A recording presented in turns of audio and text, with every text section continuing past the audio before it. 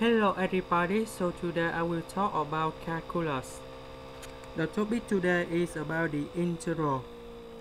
We have the integral of sine 3x to the power of 2 multiplied with cosine 3x to the power of 2 dx. So I will show you the technique how to answer the question. We have sine 6x equal to 2 sine 3x cosine 3x.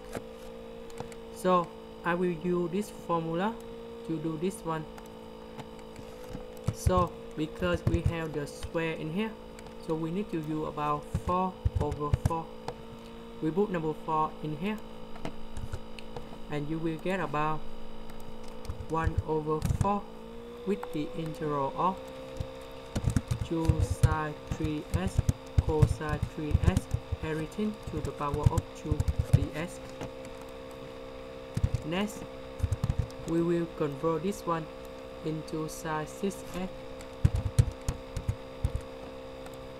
Next, we have the next formula.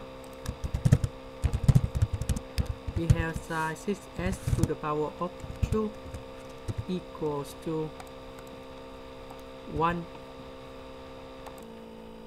minus cosine 12x over 2 this is the formula of this one. Sine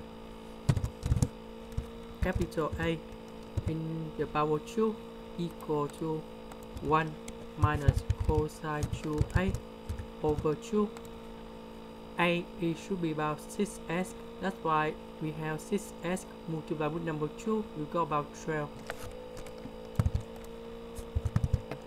and we put this one in here. Now we have number 2 multiplied with number 4 that's about 1 over 8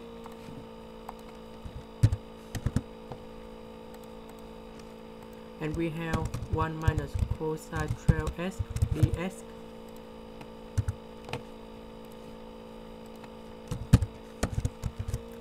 the integral of number 1 you got about s the integral of cosine 12s you will got about negative. 1 over 12 sine 12s and we will about c is about constant.